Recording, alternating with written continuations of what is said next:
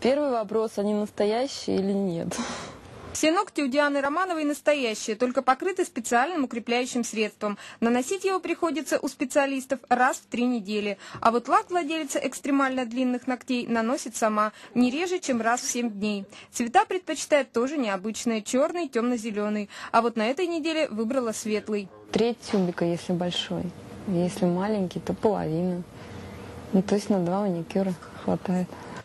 На работе Диана большую часть времени проводит за компьютером. Дома выполняет всю работу по хозяйству. Муж и пятилетний сын увлечением своей любимой женщины гордятся.